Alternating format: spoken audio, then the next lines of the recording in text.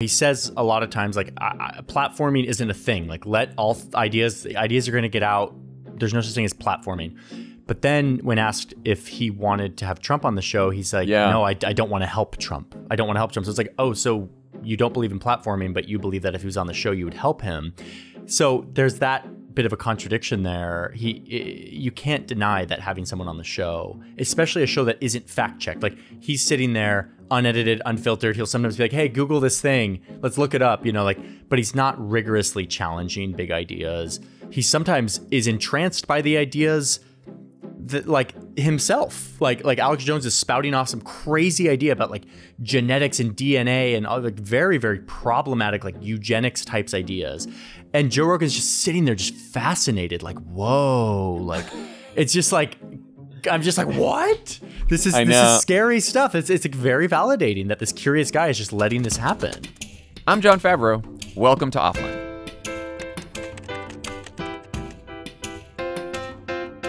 My guest this week is filmmaker and video journalist Johnny Harris. Johnny Harris is the former host of Vox's Border series and current New York Times contributor and YouTuber. Johnny's known for his trademark high production video investigations, where he debunks conspiracy theories, dissects global political conflicts, and tackles tricky questions. So it's one of those questions that I invited Johnny on to talk about today, which is how did Joe Rogan end up hosting the most popular podcast in the world? Johnny published a video a couple weeks ago that set out to answer that question. He watched hundreds of hours of the Joe Rogan experience from his first show in 2009 to present day and painted a picture not just of Rogan's shortcomings, but also his appeal. We talked about how Joe Rogan's fame rests in his contrarianism, why Johnny wouldn't call Rogan a right winger, and how Rogan illustrates the way every journalist wrestles with the temptation to appeal to the worst parts of our nature. I also asked Johnny, who is a longtime international reporter, about some of his upcoming reporting on the ongoing Israel Palestine conflict and what he learned having previously visited the region for a series of documentaries back in 2016. Here's Johnny Harris. Johnny Harris, welcome to Offline. thanks it's exciting to be here You uh, you've done a lot of outstanding video journalism uh, that helps explain some of the world's most complicated geopolitical issues. Uh, but you recently tackled a tricky question uh, that you said had been on your mind for a long time. It's also one that's been on my mind for a long time, which is how Joe Rogan ended up hosting the most popular podcast in the world. Uh, but before we dive into what you found, like what made you want to answer that question, and uh, how many hours of Joe Rogan did you have to consume to do it? more than I ever thought I would or wish to. I mean, it was it was an amazing experience in some ways, and in other ways, it is just a lot of dudes talking, and that is tiresome after a while. Um, so Which is a lot of podcasting. to be- yeah, yeah, yeah. A lot of To be self-aware about are it. Dudes, our dudes chatting. Here we go. uh, let's dive in. So, um, it, I, you know, Joe Rogan. uh, It's impossible to not feel the ripple effect of like this guy's influence in our discourse. And maybe I, I don't know if everyone feels that, but I certainly felt it, and not because I was like a target consumer or because I was like in that world, but just because it would come up. It's like so soundbiteable. It's so he does such an amazing job of like coming up with like really juicy controversial little nuggets that just get sort of spread around. And and then a lot of people sort of invoke him as like well, well the joe rogan podcast about x y and z like like it's he sort of has this like quasi authority somehow. And i was like who is this guy? Isn't he like a like a like professional wrestler guy? Like what what is this? And I, I i so there was a juxtaposition there that i was just very naturally curious about just myself, not as like a video maker journalist. Um, and I think finally it just hit a breaking point where I was like, I'm never going to actually answer this question unless I make it my job, you know, which is often a lot of things. Like, I'm going to turn this into my full time job to care about Joe Rogan for a couple weeks. Um, and then the the listening began, and I did listen to many like it replaced all of my consumption. Like i'm uh, stopped listening to the economist. I stopped listening to podcasts. I stopped listening to music and books. I like listened to joe rogan. And again i, I guess the, the first thought was like what a weird experience to just change your your media diet like mm. completely to this other monocrop of of joe rogan. Secondly you realize that there is something so simple and satisfying about just hearing people talk informally. Like it's almost Yeah. cathartic to be like, this is not soundbited. This is just two hours of like people talking and they're kind of uh, pontificating and, and shooting from the hip. And in a world of sound bites, I think I felt that sensation of like, this is kind of fun to just like know that there's no like editing going on here. Yeah. So that was a that was my first major reaction was just I get why this is appealing. This guy's entertaining, he's fun to listen to, and it's so different than most media that we consume. I mean, I get a lot of that because I, I have now done this for the last six, seven years. Um, th- I've always wanted to because I, I'm, I'm in same as you. I like hear so much about Joe Rogan, and he's like, you know, like I said, he's got the most popular podcast in the world. I think it's like 11 million people per episode, which is just wild um, in terms of a podcast, especially when you think about what like the most popular newscasts get these days, even Yeah. when there are big live events. Yeah. Um, but every time I've tried to listen to Rogan just to see what all the fuss is about, I just can't get over how long each of those episodes are. And like, there's so much throat clearing at the beginning. And I do agree that it is some, there's something nice about just hearing people chat, right? That's the whole allure of podcasts. And I listen Yeah. to a lot of podcasts that are like that. Um, but good for you for listening to that many hours because it's just like I, I'll I'll pull up in my app and I'll be like, oh god, it's like a two and a half hour Joe Rogan episode. What the fu- what, what is going on? Why Yeah, are they I- talking that long? I, I I think also people have begun to like, and this is one of my sort of critiques that I didn't go too deep into. I was I was about to. It's kind of a part in, in the script, but it's like because it's two and a half hours, you're effectively saying like if you want to be informed about something, like this is going to consume the bandwidth you have. Unless you're listening to podcasts all day, like this is going to consume the time you have to consume media Mm. of this format, and and so it does monopolize people's information sort of perspectives, which I think is why you have like diehard Joe Rogan warriors. Like they they're like, well, I, I see the world through Joe, Joe Rogan's lens because he does consume a huge amount of people's time and like his strains of thinking are are woven into all of that. And whether you decide that's bad or good, I don't know, but like it's definitely influential because of that, because he is consuming so much time.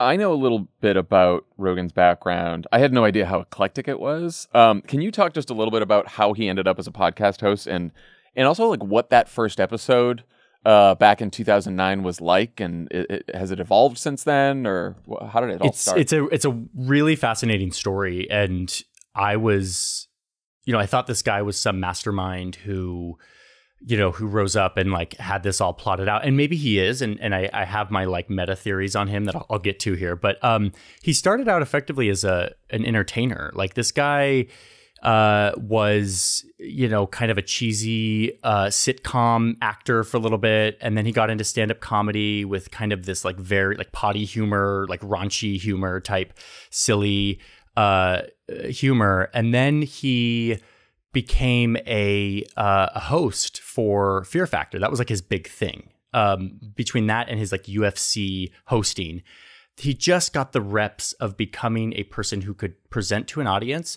and like be this lovable, enthusiastic, earnest character in all of these di- from reality TV to like UFC to like sitcoms. His his kind of relatable personality just pervades each one of those formats, even though they're so different. You would imagine you, you would need a different personality for each of those. He, as this just lovable guy, was able to slip into all of this with the through line being like, I'm just like really likable and really good at, at reading the room and and entertaining. And so the podcast actually crops up like right at the early dawn of podcasting, kind of late uh, the the late aughts, like 2009, I think was his first one, and the, and it was like a just a, kind of a foreshadow for what was to come, an an open ended conversation with like a fellow comedian that didn't really have a lot of like direction. It was just a conversation, and these guys are making jokes and they're being kind of raunchy and they're kind of uncensored and like it just kind of evolved from there, but it stayed similar. Like it stayed it that that ethos of just like unfiltered, let people talk, and Joe Rogan's lovable the whole time is is his is his secret weapon. And like Mm. he's brought, you know, people on to participate in that experience. And I think for the people who are on it, it's kind of cathartic. You know, Elon Musk sitting around smoking weed with him is like this thing you can't really do elsewhere. But like Joe Rogan has created a space where that is possible and and and I think people freaking love it because of it. So you end up with four main takeaways after listening to thousands of hours of Joe Rogan. Um, he hates boxes. He sells contrarianism. He lets people talk, and he models curiosity and openness. Uh, let's start with the boxes point. Um, you mentioned that before you made this video, your experience with Rogan was primarily limited to seeing these like you know short clips of him saying things that are often offensive, misogynistic, racist, transphobic. Um, I've had a similar experience. That's sort of how I've encountered Rogan as well. But now that you've listened, you said that like you wouldn't necessarily call him a right winger. Like, how would you characterize his politics? Yeah, that that was the most disconcerting kind of flip for me as I started to listen. I you go in with preconceived notions of like, oh, Joe Rogan, kind of alt right, misogynistic, whatever. Like that that was the box that I had put him in. We're all trained to put people in boxes, especially in mm. this time of our of our world. Like we are we are trained by our media to be like, oh, you belong to that that super identity. And so I just had that sort of default training reaction.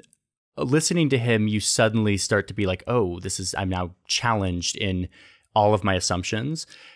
He's like super progressive on certain things and and in social issues like he's suddenly just like oh like uh you know, universal basic income makes total sense, you know, and and and then the next day he's you know he's kind of parrots a lot of this like misogynistic vernacular that like we identify with that with that sort of alt right um, identity, and so he has views that juxtapose other parts of his identity, which again I think is a very rare thing for someone in the public eye to have. I know I feel that as a public person I need to kind of line up with a certain set of identity markers.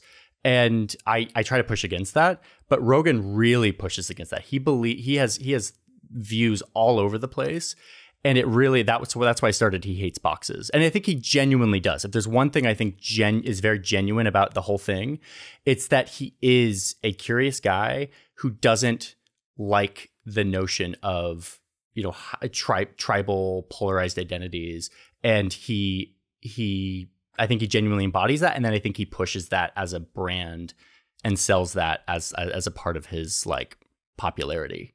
Do you think his his uh, hatred for boxes is is part of the appeal? And why why do you think people are sort of attracted to someone who or find someone interesting who doesn't like boxes?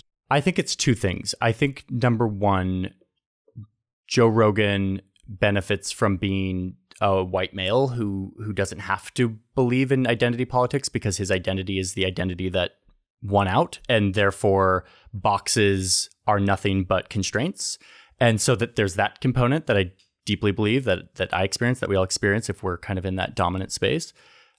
But i think he genuinely and i think the, and, and i think his audience reflects that as well. I think there's a big group of of conservative young white men who are like, I don't like boxes either. And everyone's talking about boxes and boxes are the thing that are are gonna make me not get the raise in the job and whatever. And so I don't like boxes either.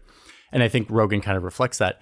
But there's this more benevolent interpretation of it, which is I and again, I don't know. I don't know this guy. He's a he's a showman. He's I don't know how much of this is genuine and how much of it is his craft. But there's a part of him that feels very much like I want to be open minded to everything. I don't want to define myself by anything other than inquiry and curiosity and openness. Um, and and that's the part that muddies everything for me because I'm like, no, I want I want you to be an asshole. Like I, I that's easier for me. And it, every time I see you model this curiosity, it kind of complicates how I'm supposed to think about you. So I think boxes yeah. is a is a pretty core thing to his identity and refuting those. And I think it's a big part of his his appeal. Offline is brought to you by Smile Actives. Have you ever wished that you had a whiter and brighter smile? Well, before you visit a dentist, you should know that their whitening treatments can be very expensive and it's not just the price. You also have to book the appointment, schedule time away from work, sit in a dentist's office chair while you're having the procedure. Sometimes it hurts after you're done. It's a real hassle. But the good news is you can try Smile Actives at home or anywhere, anytime. They offer a safe and affordable alternative to those expensive whitening procedures. All you got to do is you add the uh, the Pro Whitening Gel right to your regular toothpaste. It's been formulated with polyclean technology to boost stain removal and deliver active whitening ingredients into your teeth's grooves and crannies to get better whitening. Smile Actives is the whitening boost your favorite toothpaste needs to give you the smile you deserve. 97% of Smile Actives users in a clinical trial reported up to six shades whiter on average, all within 30 days. I just got a new shipment of Smile Actives. I got the little bottles that you can take on the road like because the we've been on the road a lot. Those are good. They're great, and uh, I'm just happy to have it back because uh, I had to go without it for a week, and boy, did my teeth look yellow. Visit smileactives.com slash offline today to receive our special buy one, get one free offer with auto delivery plus free shipping and handling. That's smileactives.com slash offline. Terms and conditions apply. See site for details. Offline is brought to you by Sundays for Dogs. Leo's loving Sundays for Dogs. Eats it right up. Mhm. And then he throws his bowl around asking for more. Does he still use silverware? He tosses the bowl all over the floor and he said, demands more Sundays for dog. Sundays is zero prep, zero mess, and zero stress. Unlike other fresh food brands, they don't add in synthetic or artificial vitamins, minerals, or flavors. Their food is naturally complete and balanced. Sundays does not require refrigeration and can be stored in your pantry or right on your countertop. It's air dried dog food made from a short list of human grade ingredients. It's co founded by a practicing veterinarian named Dr. Tory Waxman. It contains 90% real meat, 10% vegetables, fruits, and whole grains. And in every recipe, you'll find natural digestive aids like pumpkin and ginger, plus disease fighting antioxidants.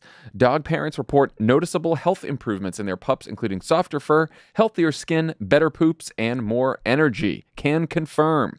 We worked out a special deal for our dog loving listeners. Get 35% off your first order of Sundays. Go to sundaysfordogs.com slash offline or use code offline at checkout. That's S U N D A Y S F O R D O G S dot com slash offline. Upgrade your pup to Sundays and feel good about the food you feed your dog. We talk about this in politics all the time, and especially when we're talking about voters, because I think people assume that most voters are either um, like partisan Democrats or partisan Republicans, or if they're not, then they're centrists, and centrists are just sort of like right in the middle, and their views are right down the middle. And the truth is that like most voters, even if they identify as Democrats or Republicans or vote that way, they have views and ideas that are all over the map. Sometimes, sometimes very complicated, sometimes very contradictory.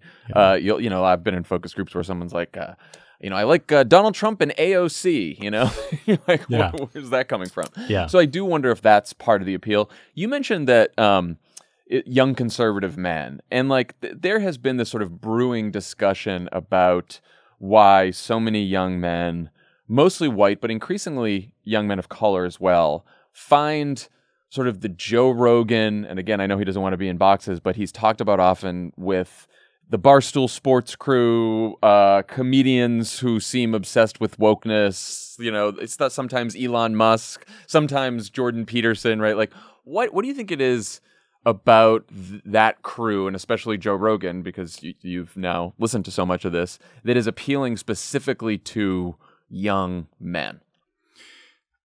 I think it is a I mean that, that's a it's that's I think that is a question that like 30 years from now will be a thing that is written in you know academic journals and history books in the sense that like the identity shift that is in part a polarization thing in our in our culture but also a a reconciling of of power and and you know race and sex and all of these things. It's like we i think we're in the middle of that so it's really hard to know Mm. exactly what's playing out when we're in the middle of the storm. But my pontification on that is i think there is a massive reaction to being told how to think and the culture telling us how to think. And especially when you are the group that is often being told to be thought of as needing to be cut down there is this very visceral and and and to be completely frank like i i i understand it. I understand it be, because i'm a part of that group and i f- see the, a lot of the messaging and i'm like damn like i'm not that. Like why am i being lumped into this? And yet i totally understand why it's happening. But even if you're someone who thinks about this and understands it if you're not someone who wants to like go through all of the the history and think about it uh critically it just looks like a barrage on your identity. And so you have this guy who's this this guy who gives you permission to be kind of macho and like like proud of your masculinity and also is curious and, and actually has sophisticated thoughts. He's not, you know, Andrew Tate. He's not the kind of fringe that is so caricatured that it that it's a turnoff to to to most people. He's a very palatable version, a gateway per se into this way of thinking or behaving that I think gives a lot of people permission and validates that like, hey, we have a voice too. And he does that really well without entertaining really, really toxic ideas. Now, everyone could argue whether or not he does entertain toxic ideas, and to some he does. But I think he, he he's he's a gateway. He's a very like benign version of this thinking. But he's he's right there in that place that I think has garnered a lot of attention because he is so palatable. But he's also very firm in his in his in his macho kind of like I'm proud to be a man. I'm not going to apologize. Yeah, and again, like I'm always thinking, okay, his audience, they could sort of go either way politically, right? These are probably a lot of people who maybe they voted for Obama and then maybe some of them voted for Trump, maybe some of them are now interested in RFK Jr.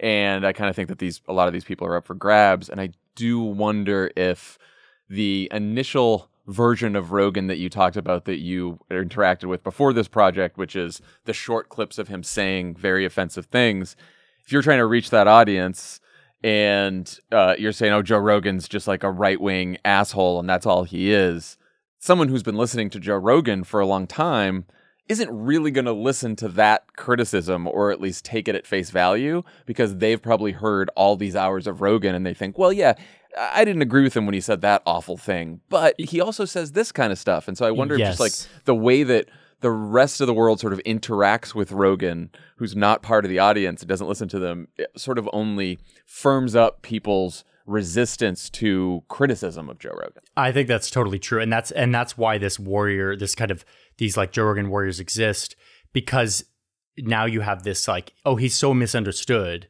and i got that actually that that was part of my impetus for getting into this story was like i had some conversation with friends who were like actually like Joe Rogan actually like you got to give him a shot, and I'm like, I'm not going to give Joe Rogan a shot. Like, like he he's the guy who shows up in my newsfeed as like being you know like like saying all these terrible things, and yet you're right. Like it it does for the people who understand him, it does create this this kind of cultish like like Joe Rogan speaks truth and no one else does, and and that's a part of a broader, you know, we're renegotiating our relationship with media institutions, governmental institutions, all kinds of institutions that are the authority. And and and that skepticism, that that mainstream media sort of pushback on all sides, really is fertile ground for uh, an individual, independent feeling individual in his random room smoking weed to be like, actually, I'm speaking truth that the mainstream media won't tell you about mm. COVID vaccines. And honestly, I benefit from this as an independent journalist on YouTube. I'm constantly, a lot of my audience are people who are like, the mainstream media lies to me. Thank you for covering it. And I'm like, whoa, this is like a giant reaction that I can feel every day on my channel. And I think oh, Rogan yeah. benefits big time from that. No, look, we get it sometimes when we're like, uh, saying that uh, you know the New York Times maybe had it right, and there's a lot of criticism of the New York Times, and then people will say to us like, "Why are you defending the New York Times? Yeah. How dare you yeah. defend Maggie Haberman?" You know, and yeah. So, and you just you feel sort of the anti-institutionalism that's out there that sort of just pervaded so much of the of the country, and then and especially it's directed towards so many mainstream media institutions at this point Absolutely. on on all sides. Um, mm. Your biggest criticism of Rogan is something uh, you all you also ultimately find valuable about his show, which is that he lets people talk. Yeah. Um, when do you consider that a bad thing, and when do you think it's a good thing? Man, the, the the, defining question of our of our discourse right now, right? Like, where's where is free speech, and where's the line, and what's harm, and what should be censored, and what shouldn't? Like, this is a question I'm not actually made up my mind on. Um, you know, I recently re- recently listened to this um, to this the witch trials of, of J.K. Rowling, this big deep dive into kind of an apologetic take on on J.K. Rowling with the with the quest of trying to really confront and and and understand where I stand, and I still haven't quite found it. I what I do know is that Rogan bringing on um, the Alex Joneses of the world is past that line. Like that's one thing I could say. Okay, that's past the line. Where where is that line?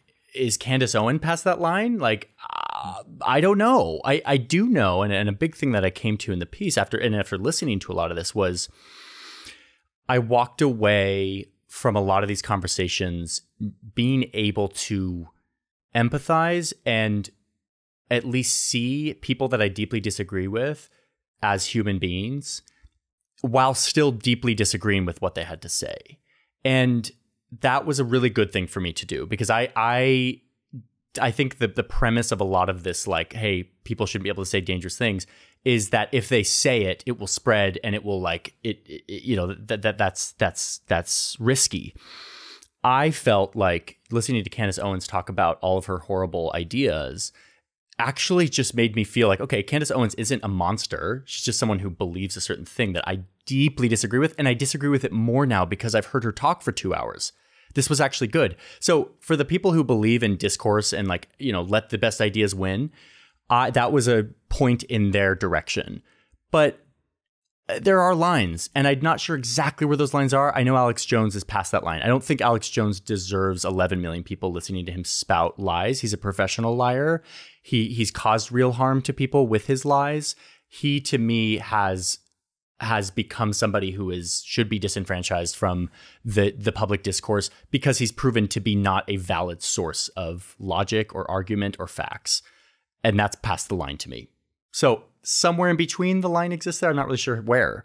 No, I like I struggle with this all the time, and I found it most interesting when you were talking about watching or listening to the Alex Jones episode that even you being a journalist who like knows the whole backstory of Alex Jones, knows what a crazy liar he is, knows the conspiracies that he spread, has has seen it on his show.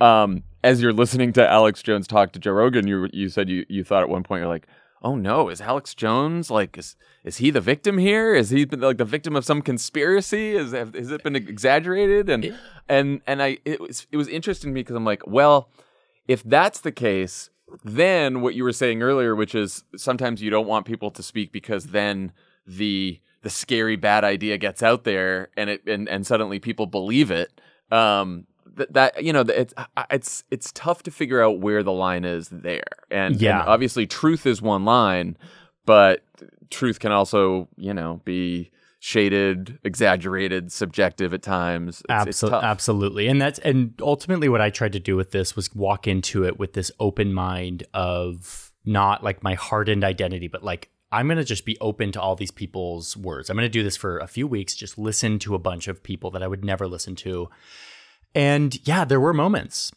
where crazy ideas were being spouted. I mean, Alex Jones talking about, you know, him being actually alienated by the the media and it was all a conspiracy. I was like, "Wait, could that happen?" And I and yeah, I actually like you know, I actually thought thought it through and and I had to actually go back and watch a mashup of the clips of all the things that he said. Go back and read some of the reporting of like of like sending his followers to the the, the victims' families' houses read some of the lawsuit. I was like in the court documents, like being like primary source. Yeah. I just need to remind myself, and and that did actually contribute to me feeling like okay, there is a line. Free the free market of ideas should have boundaries like any market has, and like.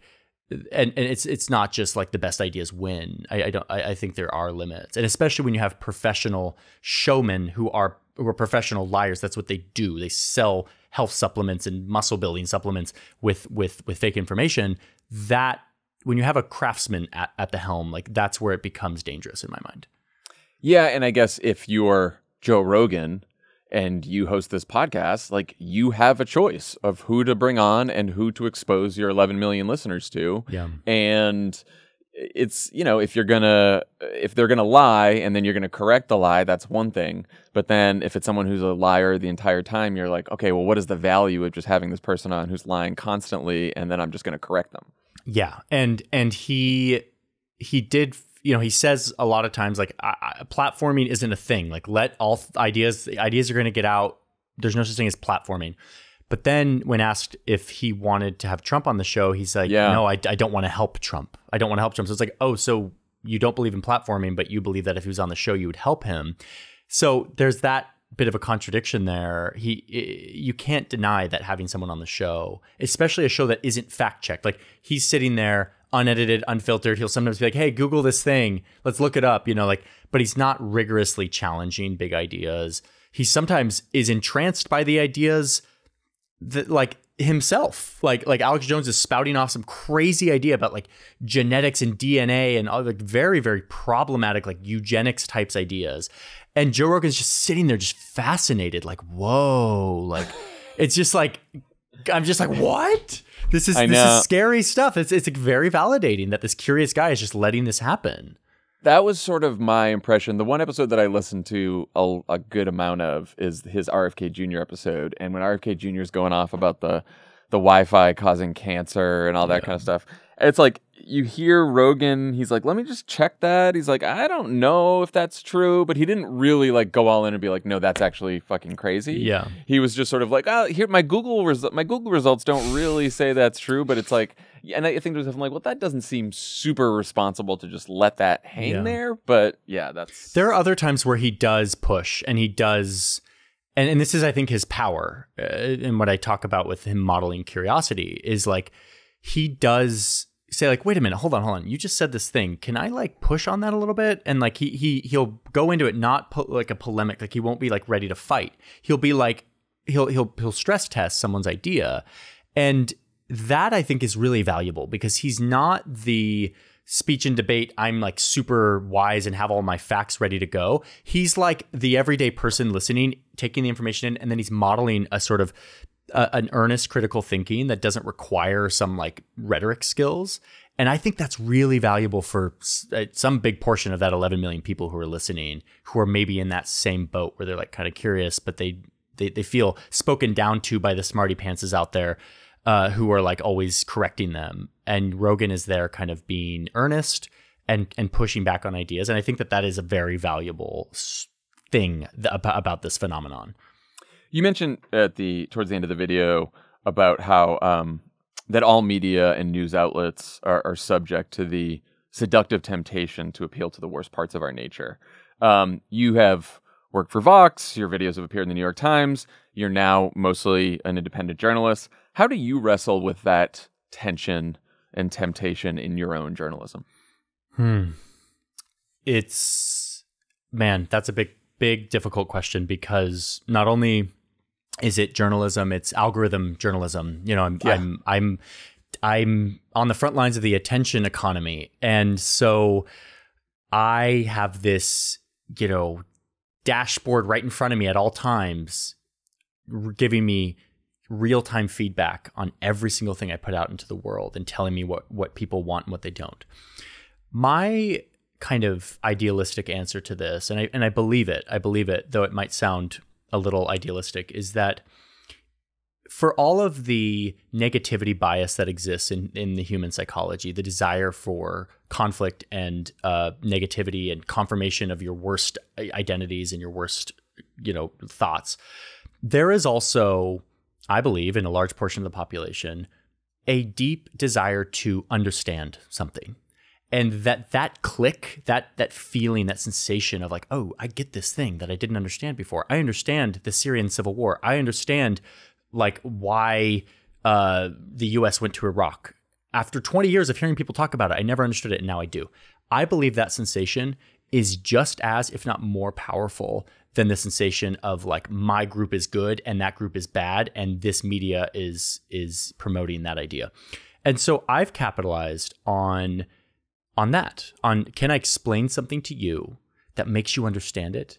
And can that be more tantalizing than me just having to shit on someone that you don't like? Now i do plenty of that. I you know i'm very critical of us expansionism and, and uh, colonial history and general european domination of the planet. Like i that's a big part of what i do um, and i think that's very valuable work and i think and i think it does benefit from the outrage kind of algorithm world but ultimately my craft is to unlock information for people and I, and I believe it gives me a glimmer of hope that like that is in inside of us even in the algorithm world and that th- that that will you know pervade like that the market will demand that and I'm here offering it and I hope more people can too.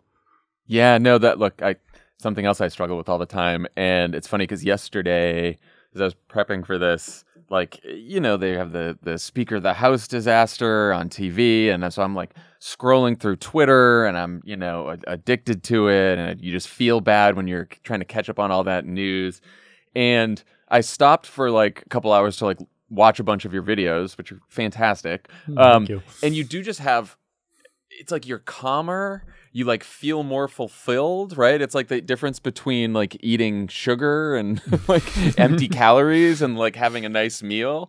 And the the challenge is it's always like you feel better about your choice after you sort of consume that kind of journalism and that kind of conversation. It's sort of uh, recently it's been the difference between like following the uh, Israel Hamas conflict on Twitter versus like listening to podcasts about it or reading long articles about it, right? Yeah. And the challenge is that I think like the algorithm sort of just it it it seduces us into the sort of short form, clickable.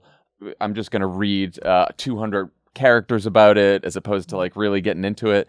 And I, I'm wondering how we like get especially younger generations to sort of do the deep dives and and click on the longer form stuff because yeah. otherwise we're just gonna you know if you're watching a couple seconds on tiktok or you're reading a tweet uh, it's not gonna get you much yeah i i actually have an optimistic take on this too i'm not a super optimistic person but today i am um, i have this right. i i tend to see younger generations and you, youtube has kind of let me in on some of the data on this as well younger generations are less prone to need to feel like they have to be informed on what is globally relevant.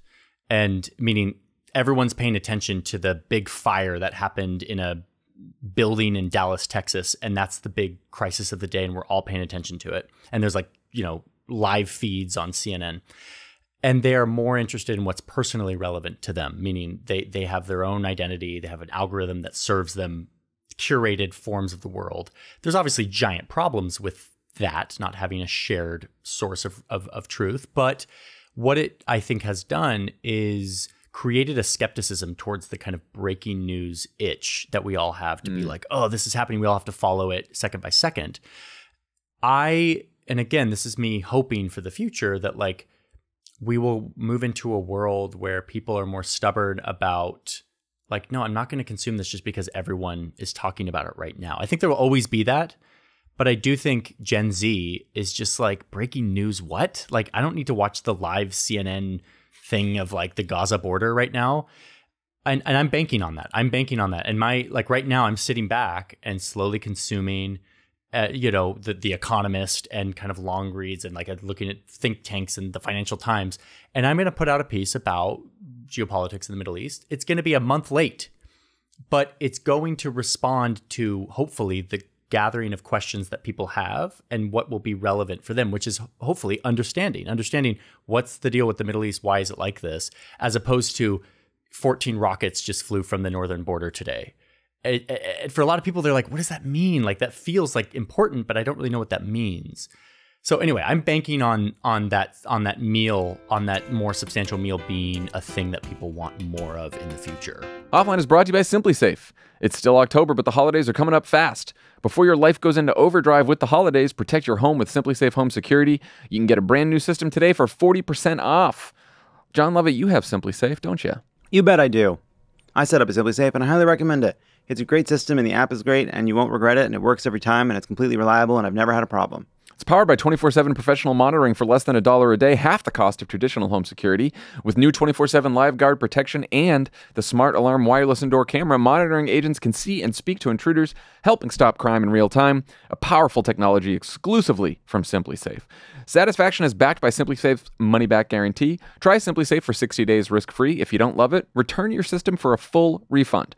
For a limited time, save 40% on any new system with a Fast Protect plan. Visit simplisafe.com slash offline. That's simplisafe.com slash offline. There's no safe like SimpliSafe. On uh, Israel and Gaza and the Middle East, like what's your approach to covering a story like that that so many people are coming to with so much emotion, such strong views, um, or frankly, you know, a lot of information that's either unverifiable or just plain wrong, not not yeah. through any fault of their own. I mean, this was the the entire topic of the story meeting we had earlier today, which is just like how do we tiptoe into this? I uh, at Vox, I spent time in the West Bank in, in the settlements um, and did a big series on the conflict in 2016, and learned just how wrong you always are and how you can never be right and how nothing you say matters to half the people. And and I was like, do I want to participate in that conversation again right now and try to draw, you know, moral lines? Um, and I don't know. I'm still making up my mind. But the answer comes back to the previous answer I had, which is understanding. There are a lot of people who can't even make up their mind, don't even have an opinion on this because the, the conversation is dominated by all the smarty pants who have the opinions and are all angry at each other. Mm. and are yelling at each other on Twitter. And then the 90% of the population is seeing this and being like, I know I should feel angry, but I don't really know why and at or at whom. And so then I want to slip in and be like, hey, here's a nine minute map explainer that explains why Iran funds proxies in Lebanon and why they're firing rockets and what occupation even means. Because most people don't even know what occupation means. We all throw it around like like it's just like, oh, the occupation. And so translating to the masses is one thing that I feel really in love with as an independent journalist is I don't have to re- react.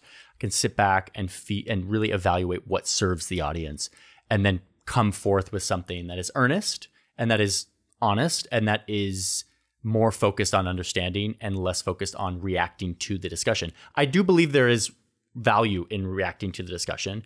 That's not my purview. That's not what I uh, do as a as a job. I know you um, worked on some of this with uh, my co-host Max Fisher when you yes. guys were at Vox. Oh yeah. Um, so Max and I just had a conversation on this show about like why social media has made it nearly impossible to follow this conflict. Not that social media has ever made it easy to follow any conflict, but it does seem like it's worse now than ever. Have you felt that too? And and why do you think that is? So the answer is no because I'm I I get my news in the slow roll. I, I read The Economist every week. Like I wait, for, I read the Financial Times every day in print edition. Like it comes as a print thing. I sit down oh, and I read, read the words, and I and I and I listen to The Economist. So my connection to this conflict is very much like it's been baked by a lot of people in terms of like how it's been reported and and and I may be criticized for that. Like I like I I I didn't follow the play by play of the hospital.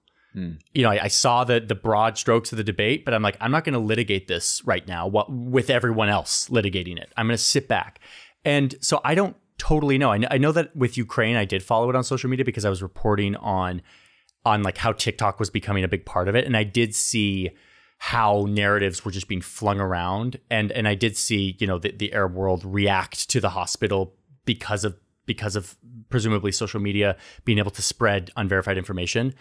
But no I don't see under the hood very often because I'm not in the trenches there. Yeah which you know what? Of course you can uh, sit back and wait. Right?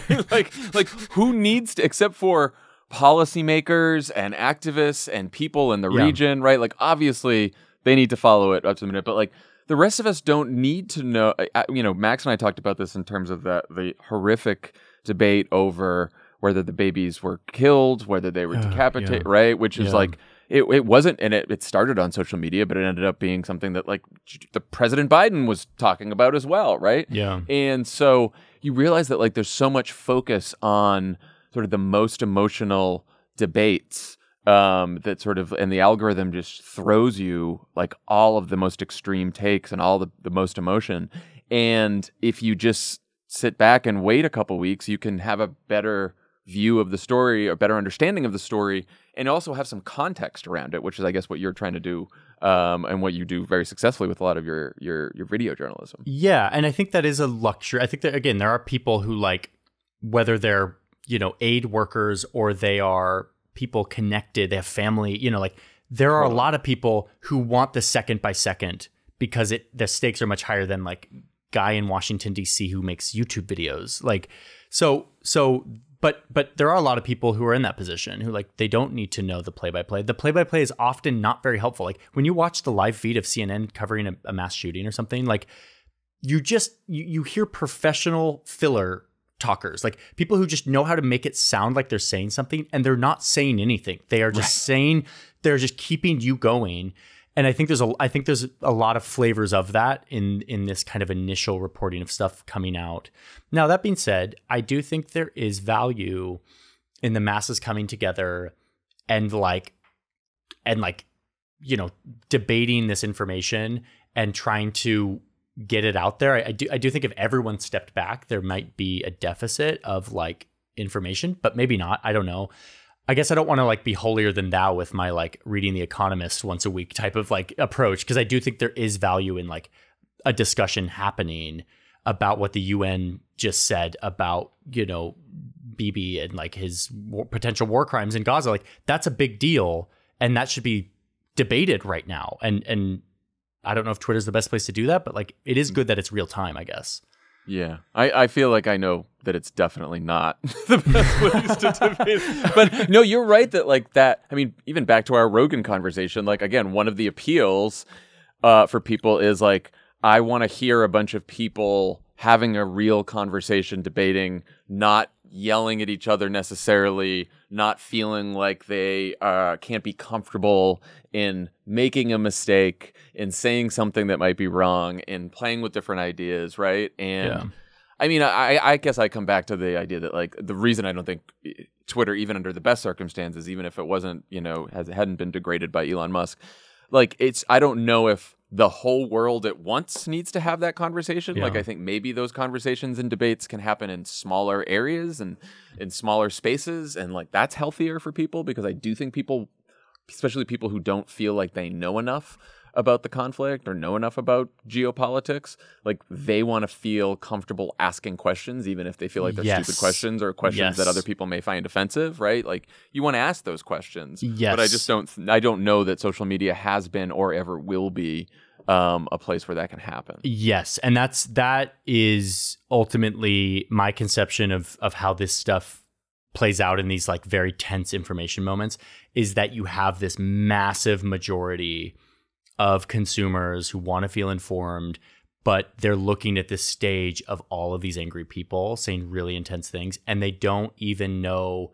the ingredients of the conversation. They just know that, like, and, and that uh, automatically elevates the most digestible outrage. Like, like let's make outrage that will be digestible to those who don't even understand what's going on, and that will then get the airtime. And so I think there is a toxic dynamic that is is based off of this hollow understanding of a lot of issues that that that I feel very like a very important service is like give and and Max and I actually our very first like big viral hit was in 2015 the Syrian civil war. Everyone on earth was like what is going on with the Kurds and Saudi Arabia and what's Iran doing sending weapons? Like and so we made this little six minute map explainer that just was a single take map with all the different icons and who is friends with who and why they're doing this. And that video got 100 million views and it got 100 million views on Facebook, the, the you know the the ADD polemic yeah. platform because there was secretly a giant demand for people to be like, I don't want a hot take right now. I just want to understand what the hell's going on. Yeah. And I and and that that's the the audience that I found. Um and and it's it's the, the the gap in the market that I'm trying to fulfill with with my work. And that is hopeful that there is an audience of people who are like, I don't need the takes. I just want to know what's going on. Um, you've now been on your own as an independent journalist for a little while. How do you like it? And is there anything you uh, you miss about working at a big organization, or is this just uh, is this is this living the dream? I love it. I love it for mo- I love nine out of ten uh, of the components of this. It is there's creative freedom, which for me is a big deal. My videos aren't just like like I'm a filmmaker, I'm a animator, I'm a designer. Like I I like to make things look beautiful. We have a you know we have a in-house music composer. Like we we put a lot into the craft, and that's a big part of being independent. Is I can really really nerd out about that. Um, and then I get to voice my I get to have more of a POV. I'm like I, I get to have I'm this guy who's just uh, like Rogan who benefits from like, hey, I'm just here in this room. I'm on my couch just talking to you about what something I'm curious about. And there's a lot of generosity that comes from especially YouTube where that ethic of like guy in bedroom talks to camera is like very native and and that skepticism towards mainstream media is is um is is not there. The downside is real, and it's that I don't have journalistic elders to give me wisdom, like like Max Fisher, my my old colleague, who really taught me how to explain international topics. If I'm being totally honest, Max was like my my guide in in in learning how to do that. Uh, having an editor, having someone to be like, "Hey, that script is way too long. Like, what, you don't need to do this." Uh, is is the big downside, and we're trying to solve that a little bit. We started a second channel called Search Party with my another Vox colleague Sam Ellis. We edit each other, which kind of is nice. Mm. Um, but there are big benefits to having a a journalistic institution with resources that isn't so up against the market that you're feeling the need to to just churn all day. Yeah. Um, and that that gives you that buffer of like a, an editor and some and some editorial guidance. But the trade off is absolutely worth it for me. I love being independent for a million reasons. Well, your stuff is fantastic. This was great. Thank you for coming on, and uh, we appreciate it. Yeah, this is great conversation. Thanks for having me.